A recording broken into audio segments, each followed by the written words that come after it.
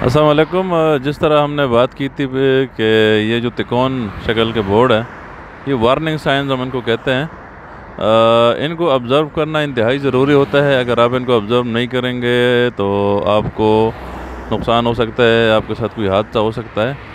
ये देखें इसके ऊपर लिखा हुआ है स्लिपरी इन रेन इसका मतलब है कि जब बारिश का मौसम हो तो आपने ये जो सामने आपको एरिया नज़र आ रहा है आपने अपनी स्पीड लिमिट इंतहाई कम रखनी है, क्योंकि वो आगे आप देख रहे हैं कि वहाँ पे मोड़ है, और मोटरवे पुलिस ने वहाँ पे कुछ कोने भी रखी हुई हैं।